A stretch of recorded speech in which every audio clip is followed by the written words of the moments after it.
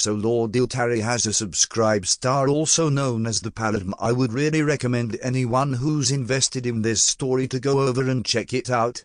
It's a solid way to help support the author and help get stories like this written. So check out the top link in the description. Though let's start will we?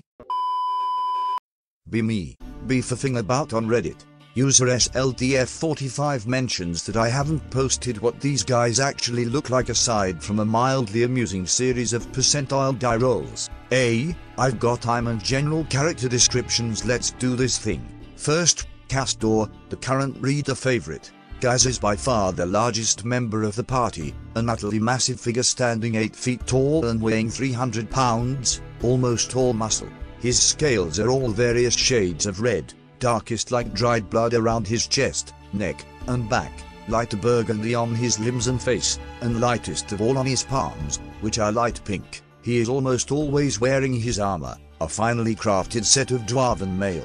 While the armor is statistically chainmail, it actually includes sections of solid plate on his shoulders, forearms, upper chest, and thighs. The breastplate is the symbol of Clangeddin, two crossed axes, engraved in a very thin layer of metal on it, which makes it both the most visibly striking and durable part of the entire suit. Regarding his actual axes, those are always at his side, hanging at his belt alongside a warhammer. While none of them are actually silvered, Kazdor keeps such magnificent care of them that they appear to be. Also interesting to note is that because they are dwarven weapons, they are entirely made out of metal with neither leather nor wood for a handle, and they are a single unit, the axe and handle forged together from the same piece of metal. On the rare occasions he's out of his armor, he's found in a plain brown tunic and occasionally a blacksmith's apron when he's busy maintaining the party equipment. He never wears a helmet, mostly due to one of his more striking physical features, a prominent pair of red fin-like crests that sweep from just above his eyes to back above his head. In a manner very similar to his red dragon ancestors, he is actually rather handsome by human or dwarven standards, with a firm jawline and strong cheekbones and facial structure.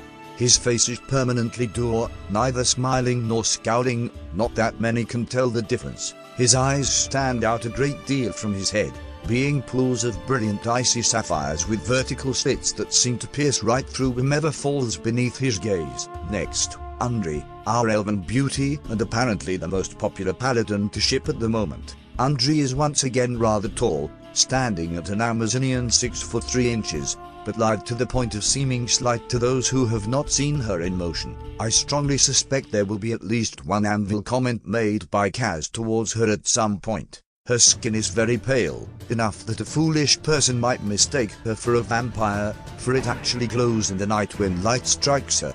Even more evanescent is her hair, which is whiter than snow and something of a rarity, flowing from her crown all the way down to below her ribs. It has been this way since birth, making other elves see her as far older than she actually is. She has slightly triangular features, making her appear clever first and beautiful second. Her eyes are a remarkable amethyst color, the same shade both in normal light and dark vision. It is difficult to tell whether Andri is ever in armor or not as she wears her silver chain beneath her tunic, a long pure white garment that flows from her shoulders down to the tops of her tall leather boots, one of which always has a dagger hidden in it. She wears leather gloves made from wolfskin. At her right hip she wears a quiver where she keeps her arrows, most of which are simply steel but she does also carry a few legitimately silvered pieces, just in case. At her right rests her saber, an elegant but simple weapon with a hilt of living wood that still grows leaves to serve as wrapping. However, her primary weapon is her bow, serving both as her preferred tool and symbol of office. The entire thing is pure white, yew from which all the bark has been stripped and strung with spider's thread, a symbol of the legendary moonbow which is the sign of Sladin. Next, the halfling knight of Avery, Peregrine Horsey Rider. Peregrine is of average height for a halfling, but actually lighter than normal, mostly owing to the fact that his gut is almost worryingly small by halfling standards. Despite his diminutive stature he is the most visibly toned of the entire party. His eyes are a shining hazel, twinkling with life and laughter in most circumstances, even during combat. However, when his wrath is roused, they gleam with killing intent great and terrible focus that can make even the smallest of warriors terrifying. He has a rounded, pleasant face much wrinkled with laughter lines and the beginnings of age. At 40 years old, he is perhaps slightly past his prime physically, but that isn't stopping him. He is always the first out of his armor at the end of the day, and prefers to dress in green and gold, with a particular fondness for a tall chef's hat that might have been white once, but is now a tapestry of many stains. Even in battle he does not wear shoes, but instead goes barefoot, or as bare as any feet that hairy can go. His hair is dark brown with a touch of grey and extremely curly. In battle, he normally keeps it under an iron skull cap that also guards the sides of his face, but has no visor. His mail shirt is plain, carefully maintained, but purely functional although it has been gaining more of a shine since Kazdor has taken over maintenance. He wears a black tabard over it with the crossed blades of Avery upon it. At his hip are his distinctive bone-hilted short swords, though what bone makes up their hilt seems to change with every telling. Sometimes they are simply cow bones, other times whalebone, and occasionally they are even the two halves of a great woolly mammoth tusk. Ask him about these discrepancies and he'll tell you that every story changes a little to teach the lesson it needs to. On the topic of people actually wearing helmets, Sir Buckethead turned himself. Even when it's not stuck, Julian generally prefers to wear his helmet, which is a standard Templar bucket helm, highly useful in defense and generation of nicknames, although it's a bit of a tight fit at the best of time. Underneath it, he looks very young, almost like a teenager with a thin, fair, and youthful face. He is not particularly good looking, bordering on plain, and when he wears his spectacles, a simple pair of iron and glass, he looks more like a scholar than a warrior. His skin is a deep pearl green, and his hair color is unknown as he shaves his head and beard bald. His eyes are entirely devoid of pupils and are orbs of faintly glowing indigo. He is fairly tall and actually quite imposing in his full armor, standing at six feet, but not necessarily when standing next to his companions, that is until he reveals the full glory of his divine heritage. His wings are massive, feathered beacons gleaming with ivory light, their full wingspan twice as long as he is tall, in flight he is magnificent, the very picture of a righteous hero. Julian's armor is practical and somewhat unremarkable, save for the fact that it is an angelic, holy white. He wears a tabard of similar shade but it bears no marking. He would appear at first to be any other wandering freelance if not for his sword. While it bears neither magical properties nor a special name, it is visually impressive enough that an uneducated onlooker would mistake it for one of the legendary Holy Avengers. The blade is purest white and gleams in the light, save for the blood channel which glints crimson. For a cross guard it bears a golden aquila, the outstretched wings emerging from a garnet which serves as the center from which reaches down a broad handle large enough for both hands, wrapped in black leather. From whence he obtained the weapon is not entirely known, but what is known is that it is a replica of the blade still wielded by his father. And last but not least is the infernal beauty, Senkit, daughter of Zarathustra. In any age there are women of legendary and magnificent beauty, Senkit is one of those women, a face to rival even mythic Helen.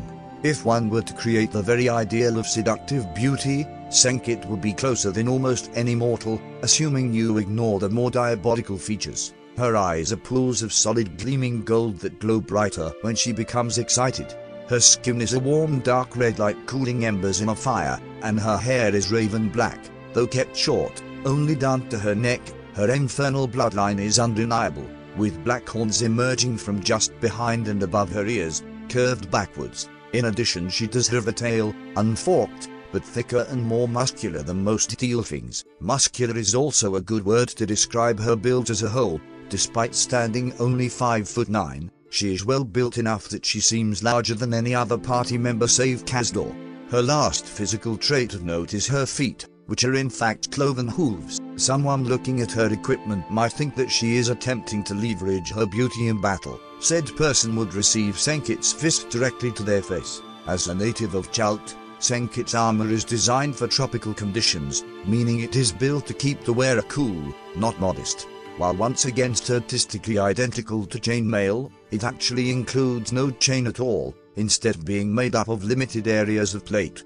Anyone mistaking exposed skin for a weak point will be sorely disappointed though, as Senkit's experience using this armor makes her the best defended member of the party. Also contributing to this iron defense is her shield.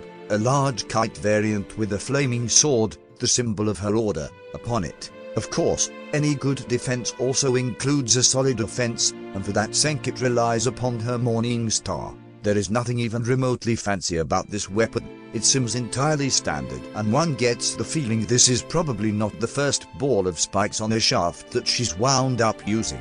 Senkit is far too practical a woman to ever acquire a tool that becomes too precious to throw away if the situation calls for it. Be me, Paladin, be not me, be Kazdor the Crimson, Undri the Pale, Senkit Zarathustra the also red, Peregrine the slightly tan, Julian the vaguely sea green, and Eort the confused as to why skin tones are being used as titles. Having enjoyed a lovely feast and acquired their new mounts, all hail Warpig, they rise swiftly, Peregrine and his golden retriever following hidden halfling paths back to the main road.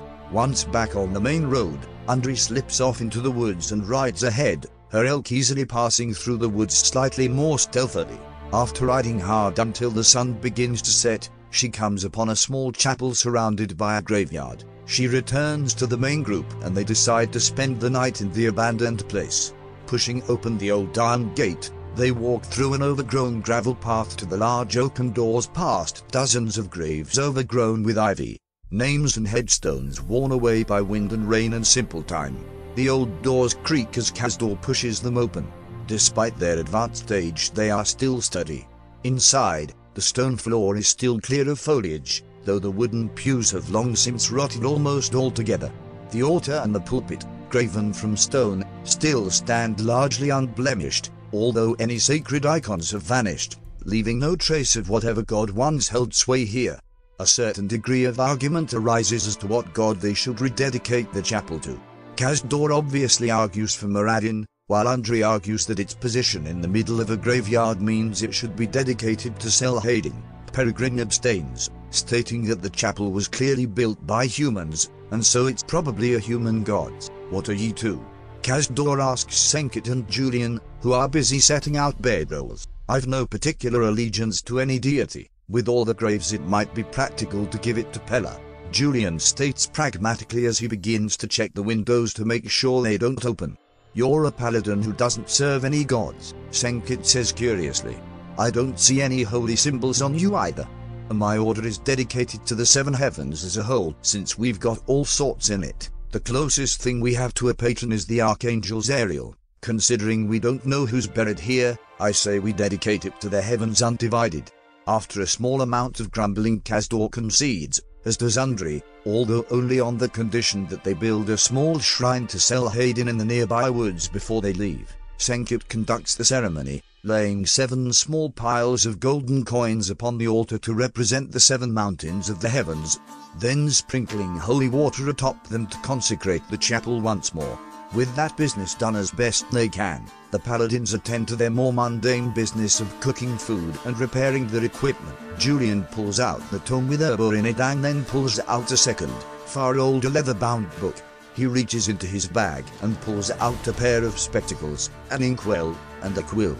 He begins to copy the ritual from one book into another. Peregrine looks over curiously. What's that? A family heirloom. Do not distract me, the copy must be perfect to work properly.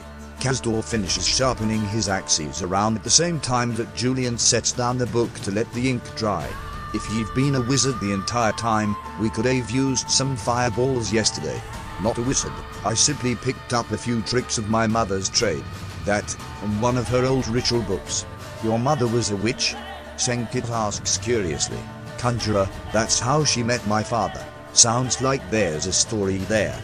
Probably, but she never told me it. All I know is that she was in Sigil at the time, because she stayed there until I was five. Eight, so you need from this plane.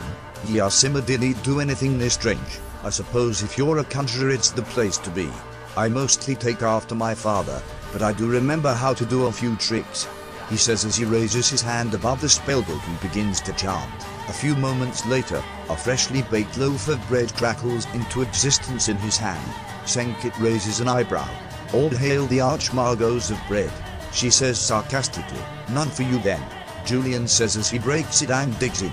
A meal of jerky, dried fruit, and freshly summoned bread is eaten and the party beds down for the night after Kazdor bars the door.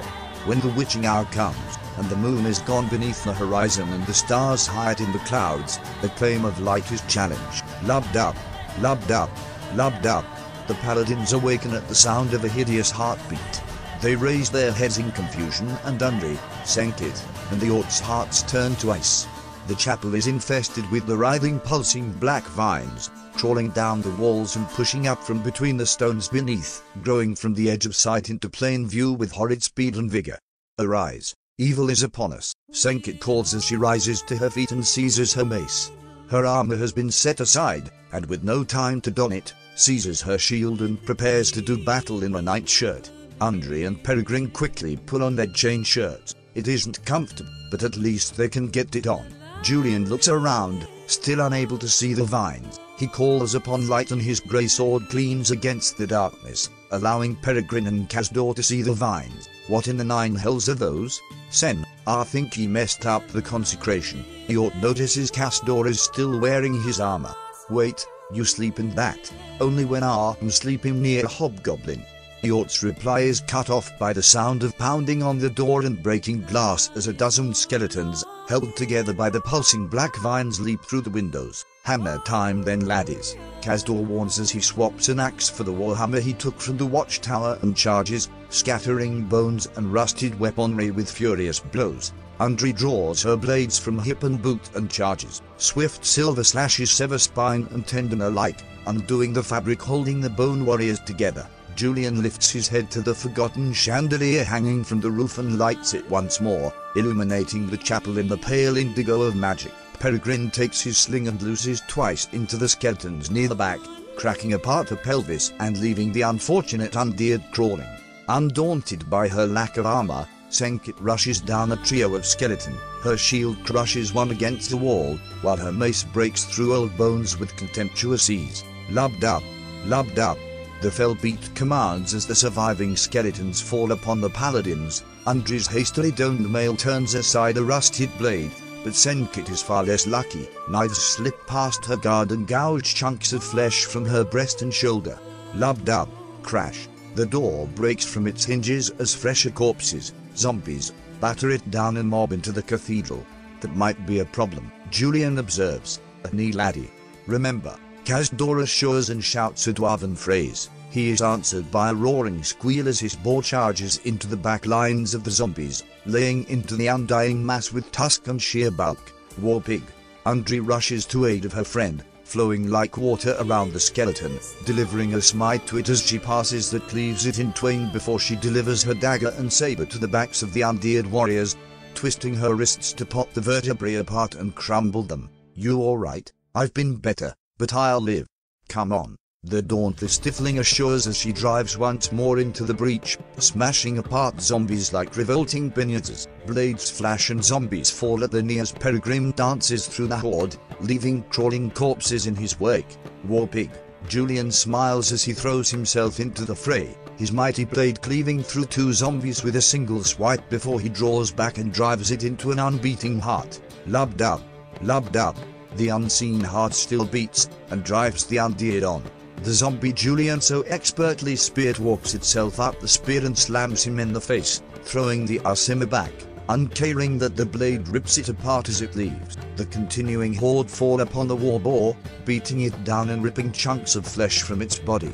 Peregrine gets a taste of his own medicine as the crawling zombies batter him at the knees. All ye, fall back, Kazdor orders as he moves forwards, fire in his jaws. Undri's bow thrums twice and two zombies become half as perceptive, stumbling back. Julian leaps to his feet, smashing his head into the zombie who dared to survive getting run through, dropping it with a ferocious headbutt before hopping back. Senkit breaks a zombie in half, curb stomps its head, and then bashes another into the main horde. Peregrine cuts the arms from the owners grasping him and rolls away the undying limbs still holding his anklets in a death grip. Party clear, Kazdor lets fly, turning the front of the church into a pyre, as his war pig rends aside the last few. Julian breathes a sigh of relief before that hideous heart beats again. From the shadows of the vines humanoid shapes appear, whirling along the walls and ceiling. Oh come on. The party regroups, lending healing touches to one another and standing close to brace for the assault. Senkit on the other hand marches past the vines to the pulpit, exceedingly irritated at the presence of Undead in her chapel. She calls upon that power divine and speaks. Her golden eyes gleam with light, as a halo of flames dance along her horns. At her back a corona of crimson flame appears not unlike wings. Her voice is great and terrible, the force of holy wrath behind it. Hear me, O spirits, and obey. Thou art dead, and to death thou shalt return. Trouble no more the living, and surrender thy arrogant grasp on Unlif, lest ye be cast into that pit, Baator, where the worm does not die and the fire does not go out. The shadows, apparently impressed by her brimstone sermon, turned and fled into the night. Nothing like a tiefling to bring hellfire and brimstone. Peregrine jokes, and Senkit smiles before the beat sounds again. Lub dub lub dub, lub dub. The beat roars through the chapel, and the writhing vines constrict, cracking stones and walls. Julian's eyebrows shoot up as he gets a general idea of what he isn't seeing. Undri's keen ears hear more than most though, and she can tell from whence the beat comes. It's coming from below. She shouts as warning before skeletal hands punch through the floor, as the dead beneath the chapel rise, clawing forth around the party, somewhat ironically clad in rotting priestly vestment. Kazdor wastes no time in bringing the hammer down by, well, bringing the hammer down. Undri pulls out her swords once more and drives them into the emerging evil. Skeleton priests. Seems like a bad joke.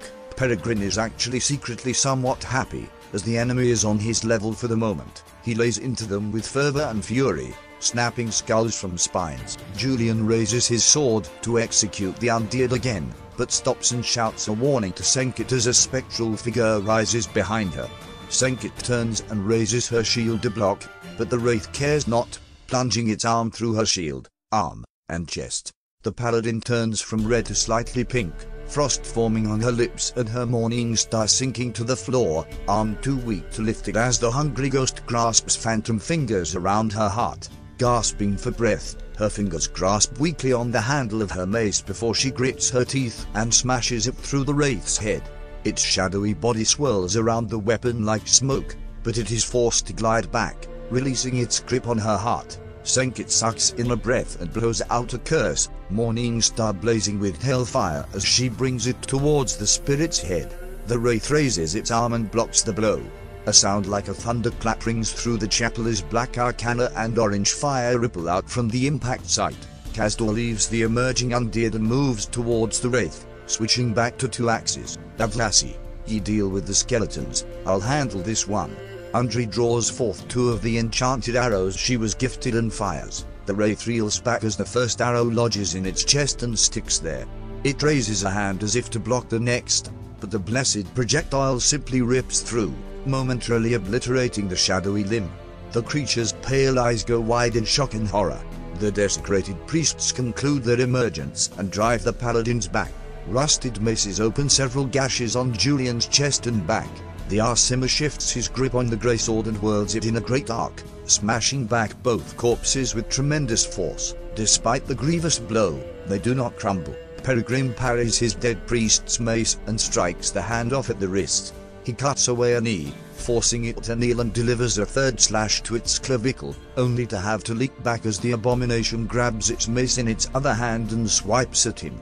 Senkit rages at the mighty wraith as she hears another priest clack behind her. She ducks under both their strikes and swipes the skeleton's legs out from under it. She catches it under the ribs as she rises and delivers it over her head, smashing its entire upper body into dust against the pulpit. Kazdor hurtles at the altar, shrugging off a blow to his head as he hurtles last a priest. He leaps over the pulpit. The wraith watches him disinterestedly until his right axe swings into its stomach and actually connects. The creature hisses in confusion as it raises an arm to block the offhand swing. Ye spooky skinners can ye handle holy symbols can ye? Well, did y'all ken me axes me holy symbol? He laughs as he rips out his axe and delivers it with a smite to boot directly into the wraith's chest, hurling it back into the altar, where it spasms like a fish on an electric fence before sinking into the ground. Undri dodges under another swipe from the priest attacking her, Pulling another silver arrow from her quiver she drives it into the creature's forehead. Just die already. She curses as she channels a smite, blasting the skeleton's skull to oblivion. She turns and necks the arrow to her bow and fires it into one of the priests attacking Julian, where it vanishes in a shower of silver and bone. The surviving priest strikes at Julian, but he counters with enough force to send the old mace flying across the church. He steps forwards and pulverizes the undead with a blow echoed by a sudden throb of red energy. The soul skeleton remaining smashes the ground in front of Peregrine, who runs up the mace and the arm holding it, delivering a cross slash that splits the grinning skull in four. He lands, smiling confidently. Lubbed up, Peregrine's smile fades as every hair on his body stands on end. But before he can move, or even scream, the black fog of the wraith erupts from beneath him, completely covering and smothering the halfling. A clatter rings out through the silent chapel as two bone-hilted short swords fall to the ground. In an instant, the building rings with the sound of commands. Begone. Release. Retreat. Flee. The wraith sways, but does not move. Cruel laughter echoes from the dark before stopping for a moment as cracks of golden light, the light of healing magic, spread across its body.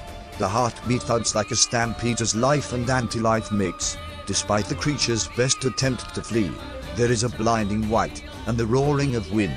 Then an explosion of golden light erupts from the altar.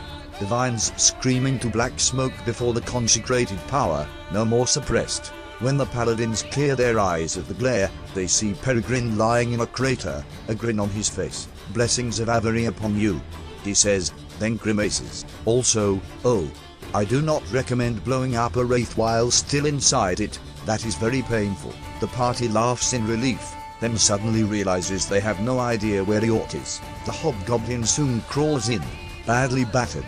Next time, I'm sleeping as far away as possible from any and all windows, he grumbles before passing out in the center of the church. Realizing their own extreme tiredness, the paladins follow suit. When they awaken, noontime sun is shining down on the pile of adventurers plus one snoring war pig. Be me, Paladin, be not me, be Kazdor, Senkit, Julian, Peregrine, and Undri, paladins of the summer lands. After rousing themselves after a long night of undead smiting, the party sets about getting ready to move out, slowing somewhat in their departure as they pause for a couple hours to construct a small shrine to Sladen Moonbow in the woods outside their newly reconsecrated chapel. Thanks to their late start, they don't make it far before dark begins to fall again. They make camp and the Ort reports that they are now only a few miles from the abbey. After some debate, Senkit and Dundry set out into the night to scout the location. After about an hour, they arrive. The abbey is indeed an impressive structure that almost resembles a castle more than a place of worship. A huge wall, 20 feet tall, surrounds a sizable area, in which they can see one main building with a tall bell tower, several floors, and multiple wings. This abbey could probably hold the majority of the colonizing force by itself, and with its strong fortifications, taking it will prove difficult. After some deliberation, the pair sneaks closer to the walls, which still glow faintly red even in the infrared dark vision. They are indeed warm to the touch. They spy guards walking in patrol, and once one passes, they race to the edge of the wall. With a boost from Senkit, Andre leaps, her fingers just catching the lip of the parapet, fully extended above her head. She pulls herself up just enough to peer over the walls. The walls are thick enough for two men to walk abreast with no discomfort, and there is only a single gate, a huge oaken thing reinforced with steel. Inside the walls is a lake, an orchard, and enough space that a ramshackle goblin camp has been built. Through a window she can spy a hobgoblin walking by inside, it seems they've reserved that part of the place for themselves. She runs the numbers and estimates the size of the main building, then drops back down. Senkit watches the walls carefully, until she sees a light above the gate. She peers closer and sees the flaming ghost of a tiefling, clad in full plate and bearing a brilliant sword. He looks to her and then points towards the abbey. I am the heart of fire in stone. I am the story unforgotten. I am victory over the darkness. Seek my bed. Restore us, heir of fire. It commands, then fades. Andre drops from the wall next to Senkit, startling her from her reverie. Did you see him? The startled Tiefling demands. See who? Is there a commander? No, the ghost. The flaming Tiefling. Nothing ghostly and nothing flammable, she says with a shake of her head. Pits.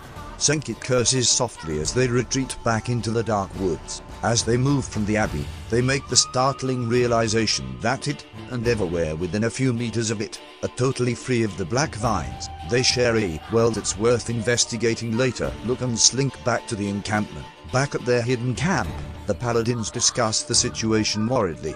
If the measures you've given me are accurate, assuming Doe built it, and that's a fair guess with those walls and that gate, and taking into account both Scoffin halls and a primary worship center, we're looking at around 100 to 500 hobs, need counting the Groby camp, which could have just as many if not more. With those walls and those numbers, we can need just charge in and take it, that'd be suicide. Kazdor says grimly as he observes the rough map Undri drew of the abbey. Even if we single quote AD the numbers for it, need challenge this place with an army. It's built like a bloody castle and has both water and food, probably with an unknown amount of stores. Even in a siege this place would be bloody take. We need an advantage of some sneaky or seriously magical kind. I strongly doubt the abbey building is full to capacity. Julian says, hobgoblins are intensely hierarchical. A horde this size will have probably a single commander for every 10 men or so, and while the grunts might bunk together, any commander will probably have their own private room, and the warlord probably has an entire suite for status symbols. If the abbey was full, they'd have built more hob quarters inside and forced the goblins out. What about the goblins? Peregrine asks. Hordes usually treat them the absolute worst, and this time's no different. Maybe we could convince them to rebel? That would require trusting goblins to work with us, Senkit says with a snort. Not necessarily, if we get them to fight, odds are whoever comes out on top of this will be fairly badly weakened. Then we can strike. Julian points out, Nee, it'd be a one-sided slaughter.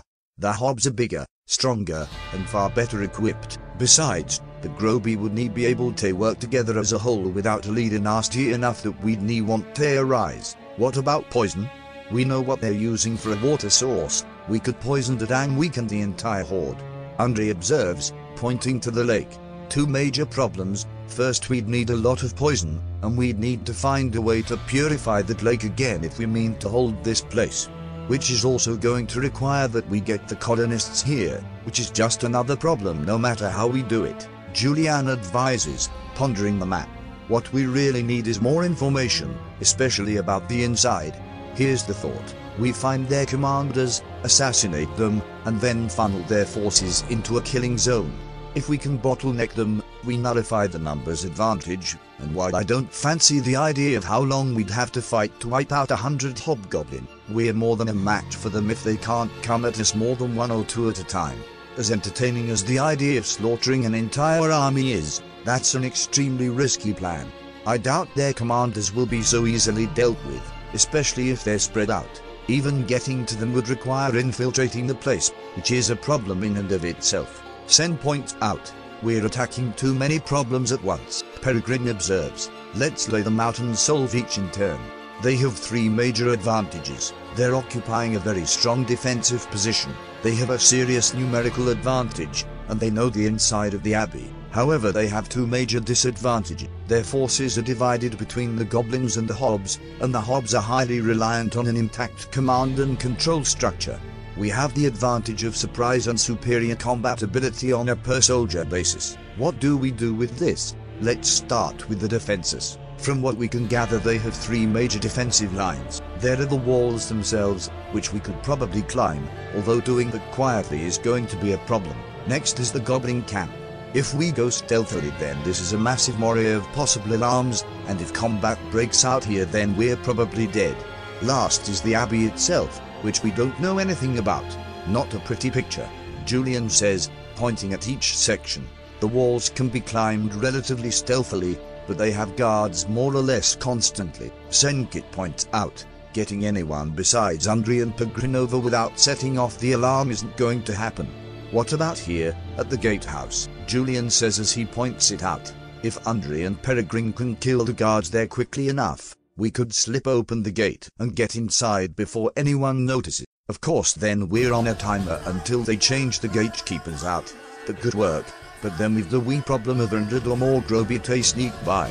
Exactly, but those goblins could be the solution to all our problems. Peregrine points out, if we can get them on our side, or at least enough of them, They could be away inside the abbey, and a valuable source of information. How exactly are ye gonna get them on side, laddie? You're a fine speaker, but ye can ye simply wander in and say hello there? Ye feel like an uprising? Even assuming they didn't kill ye, the obs most certainly will. I go in disguise. I'm the same size as a goblin and speak it to boot. So if we were to disguise me like one of, say, the wolf riders we killed back at the watchtower and ride in with a warning about Mactower's fall, I could get in. That could work. It might even bait them into sending forces away to try to retake the tower, which could be an opportunity to strike at some of their forces and reduce their number.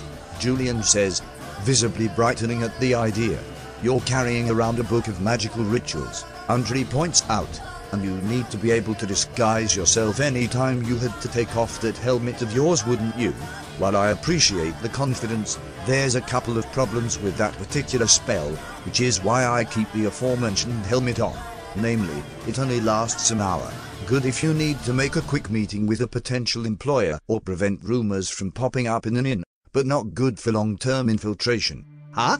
I suppose the stories about Fae being able to hide themselves permanently were just stories then. Undri says, sounding slightly disappointed. They probably could, but that's because they're essentially made out of magic, and while I've got my suspicions about why exactly this place is constantly summer, looking for fairy backup is probably foolish, Julian responds. That being said I could potentially be the infiltrator. The party stares at him for a moment. I can cast that spell as many times as I like, I just need 10 minutes to do it.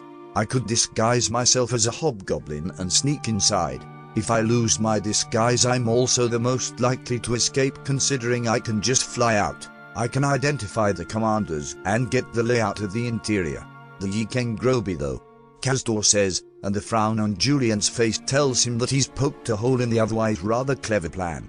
Disguise is still the best idea for information gathering we've got thus far, and it might even let us deal with their numbers somewhat. It's risky, but I say we try it, Senkit says. But just in case, I say we introduce the disguise to one of their scouting parties first to see if it will fool them. What am I, chopped liver? Yort, who has been waiting for one of them to notice him for some time. The paladins turned quickly, and Peregrine Fassy palms, you know. I really should have thought of that sooner. Are ye mad, laddie? Trusting him ta'en ye betray us? When Undri grows a beard, he exclaims, Hold Castor, let's see the truth of the matter. Senkit says, before invoking a zone of truth, will you betray us if we send you on this mission? No. I want to see the warlord dead, his war host broken, and everything he ever accomplished and done. Those are harsh words, why? Peregrine asks. It might have to do with the fact that he refused to support my legion in holding Zanjonas against the orcs. Or maybe it's the fact that he didn't warn us about the Nold horde he baited into us while we retreated.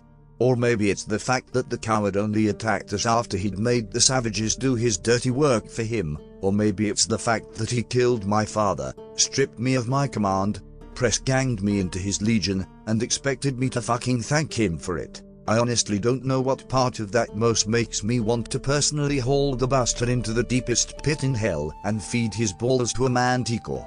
He says, emotion and voice building until he's practically shouting by the end of it. The party realizes that maybe they should have asked him about this before now, but considering he was either hiding or getting boned by a sudden skeleton ambush during every major encounter since he showed up, Maybe I should have done a better job reminding them that he did in fact exist. Oh well, live and learn I suppose. With this in mind, his backstory persuades them that they can probably trust him at least somewhat, and even Kazdor grudgingly admits this. As the party bends down, a plan at least in mind, Kazdor pulls the Yort aside. Listen well laddie, ah, I'm only gonna say this once, but I was wrong about ye, he says, and the act seems to pain him. He tosses a bag at the hobgoblin. Ye're gonna need your equipment. As the hobgoblin takes up his sword and shield again, Kazdor draws his axes. Ye're out of practice, come at me. Yort hesitates for a moment, and then nods. The two warriors circle one another, restrained slashes and parries ring out in the night. Yort's style is cautious, but his shield work is impeccable, each time stopping the oncoming axes no matter what angle it comes from. His swordsmanship leaves something to be desired though, as he is unable to even touch Kazdor's armor. The pair go back and forth a few rounds before Yort gets a singularly lucky moment, slipping past Kazdor's defenses with a clever feint and halting his blade mere inches from the Dragonborn's throat. He steps back and settles into his defensive position again. Kazdor finally starts taking the fight seriously and stops holding back. A rain of axes hammer down the hobgoblin's defenses, and the orc leaps back from a silver blade that swipes just in front of his head. Good reflexes there, laddie, and good shield work too. Something I noticed about it though. What? That it does a good job of falling over? Nee. you're used to using it more to protect your comrades than yourself, aren't ye? It's bloody close to something we used in tunnel fighting. Yort nods, unsure where Kazdor is going with this. Ye might actually prove me more wrong than I thought, laddie. Kazdor says as he puts away his axes, ending the sparing session. Ye say ye want revenge for and your friends. Art where ye to think on what ye'd do after that. A man who fights for his comrades or for himself might be the type who'd fight for others' vengeance as well.